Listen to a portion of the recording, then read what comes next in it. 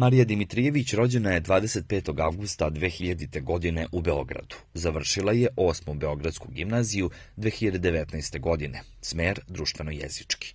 Nakon završene gimnazije upisala je Filološki fakultet Univerziteta u Beogradu, smer španski jezik, kultura i književnost i trenutno je na prvoj godini studija.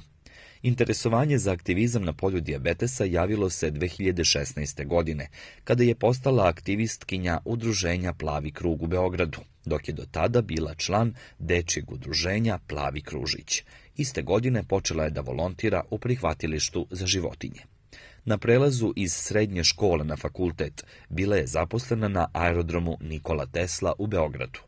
Član je studentskog parlamenta Filološkog fakulteta, aktivistkinja u Udruženju za borbu protiv dijabetesa Plavi krug u Beogradu, mladi lider u dijabetesu, volonter Diabetološkog saveza Srbije i član organizacionog tima kampa Diabetes lideri Srbije.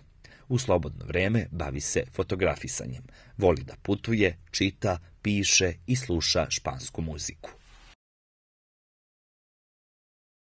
Sasvim slučajno sam otkrila da imam dijabetes tako što sam jednog jutra otišla regularno da uh, uradim krvnu sliku i krvna slika je pokazala malu povišenu glikemiju, što je odmah alarmiralo ovaj, ostale da eto, ima, postoji neki problem.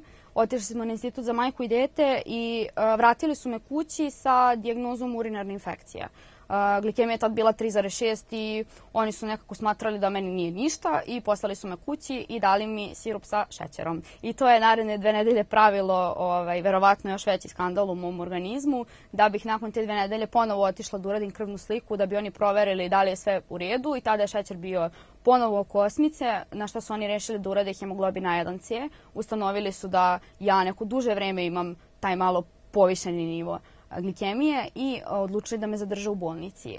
Nekako mislim da sada kada se prisjećam, ne mogu da se setim sad svoje prve reakcije, jer nekako mama je bila tu, mama je prva saznala da imam diabetes, oni su rekli da sumnjuju na to, da čak i nisu sigurni, jer meni nije potreban insulin, a s druge strane nisam uh, bila dete koje bi uh, moglo da dobije tip 2 diabetes. Tako da su oni uh, držali mene na ispitivanju, uh, ne znajući da li ja zapravo imam diabetes ili nemam.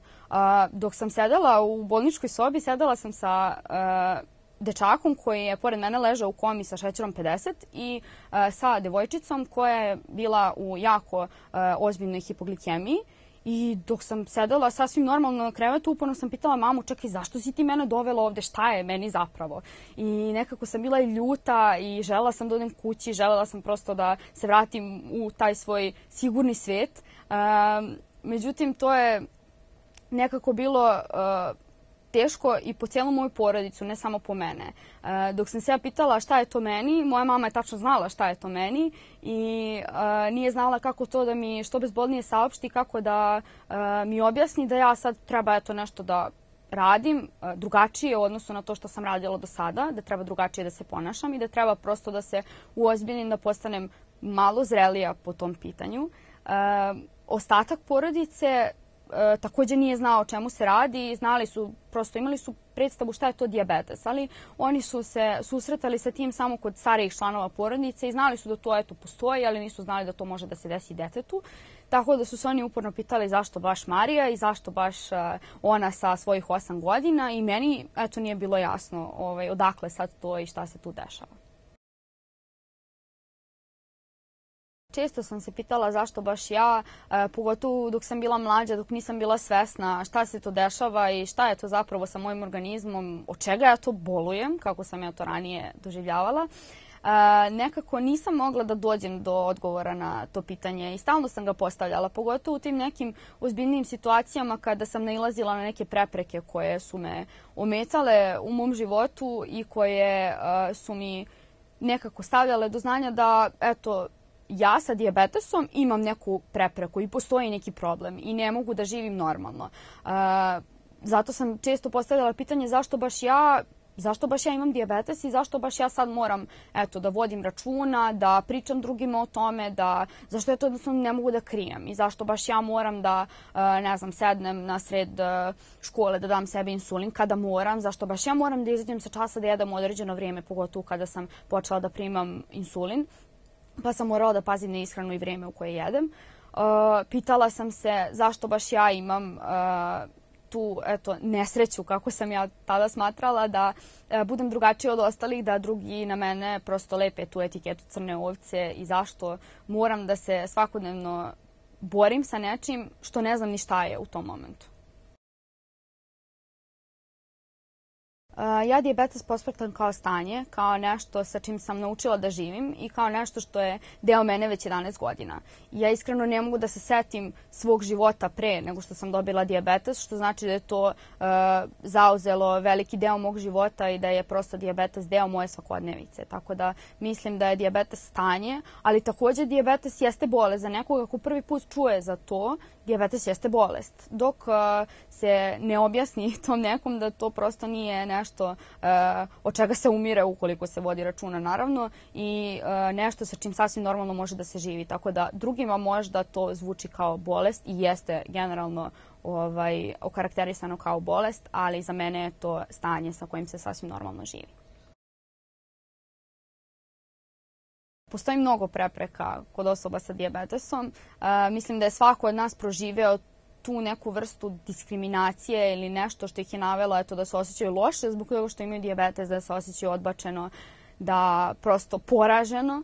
E, mislim da mi je najveći udarac e, zadalo to što sam odbijena za kulturnu razmenu. E, prosto e, želela sam da odem e, u Španiju na nekoliko mjeseci da vidim kako je tamo živeti i e, da se oprobam u nečem novom. Međutim, odbijena sam zato što imam diabetes i mislim da je to bio najgluplji razlog da su mi rekli da sam možda, da nisam dovoljno spremna za tako nešto ili da prosto moj engleski nije dobar ili nešto. Ja bih računala da je to sasvim okej okay, odgovor i razlog, ali diabetes koji mene inače ne ometa ni jednom segmentu života uh, mi je tada zvučalo kao nešto strašno, kao nešto što nije smelo da se desi.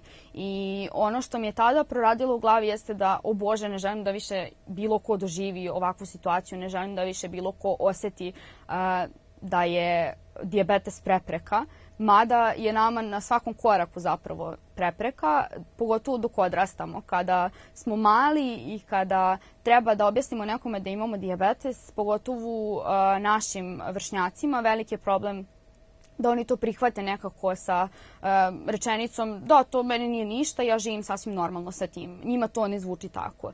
I njima to zvuči užasno do te mere da ne žele da se igraju sa tobom ili da ne žele da te imaju u svom društvu prosto ili u svojoj ekipi kada igrate između dve vatre. Prosto to je nešto što te pogodi uh, do te mere da se zapitaš zašto sad diabetes predstavlja toliku prepreku. Uh, ali da, prepreka je mnogo. Mislim da je jako važno da uh, se priča o tome kako bi se diabetes nekako objasnio kao bolest koja je sasvim normalna i sasvim se normalno živi sa tim, a ne kao nešto što treba da se ukazuje kao prepreka ili neki kamen spoticana.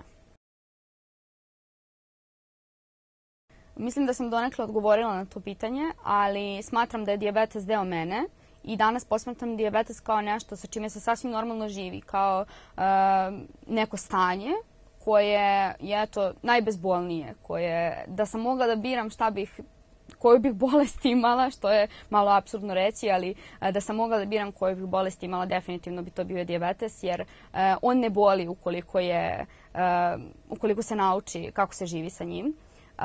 I mislim da diabetes danas posmatram kao nešto što me guralo kroz život, kao nešto što me naučilo da budem zrelija, da budem odgovornija, da sazrim pre vremena, a i da naučim mnogo toga pre vremena i da prosto uh, odrastem sa tim i da danas sa tim živim sasvim normalno. Uh, pa mislim da sve više ljudi ima taj moment da ne zna šta je to diabetes, da nije dovoljno edukovana i slično. Uh, I zato bih ja tom nekom ko ne zna baš ništa o diabetesu rekla da je to stanje sa kojim ja sasvim normalno živim i da je to nešto što mene ne ometa ni u jednom segmentu života, da prosto uh, mora da se vodi računa, ali s druge strane, ukoliko se dovoljno vodi računa, uh, sasvim se normalno živi život i uh, mislim da je problem što ljudi sve češće postavljaju to pitanje šta je to diabetes, budući da uh, nama sada internet pruža mnogo informacija, e, pogotovo što sada sve više ljudi ima diabetes i mislim da je jako važna edukacija, edukacija i edukacija. E, mladima koji žive sa diabetesom bih poručila da je to je jedna borba i da moramo da izađemo iz toga kao pobednici. I svaka naša mala pobeda je jako važna. Mala pobeda mislim na to, eh, eto danas mi je ceo dan bio dobar, dobar šećer, meni je to mala pobeda. I mislim da su te male pobede najvažnije. Mislim da je to, da je diabetes konstantna borba i da moramo da naučimo da se borimo sa tim a roditeljima bih poručila da e, budu podrška svoje deci. Ja sam imala tu sreću da meni mama bude stvarno najveća podrška kao i ostatak porodice i prijatelja, ali mislim da je pre svega mama kao roditelj igrala tu najvažniju ulogu da mi bude najveća podrška i e, oslonac u e, pogotovo na početku života sa diabetesom i poenta je da prosto roditelji budu tu za svoju decu, da im budu, što se kaže, rame za plakanje i da im budu tu u svakoj situaciji, da ih nauče koliko je zapravo važno uh, živeti sa diabetesom sasvim normalno.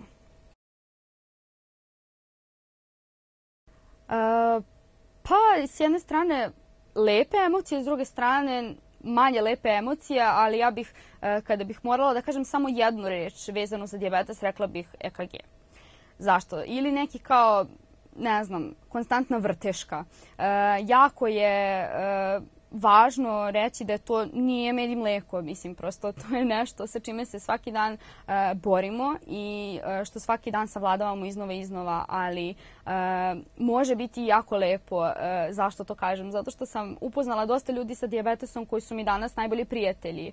Upoznala sam dosta ljudi sa diabetesom koji su mi danas primer i podrška. Tako da mislim da je to dobra strana diabetesa, a loša strana diabetesa jeste što, eto, jednostavno nekad moram da uh, ja nemam odmor od diabetesa, prosto to je, to je cilj. E, ja ustanem sa diabetesom i legnem sa diabetesom. Nema odmora, nema pauze i nema momenta ja danas nemam diabetes, ja ga imam svakoga dana i to je nešto što je to lošija strana diabetesa, a s druge strane uh, ima toliko pozitivnih stvari da je prosto uh, da su prosto te loše zanemarljive.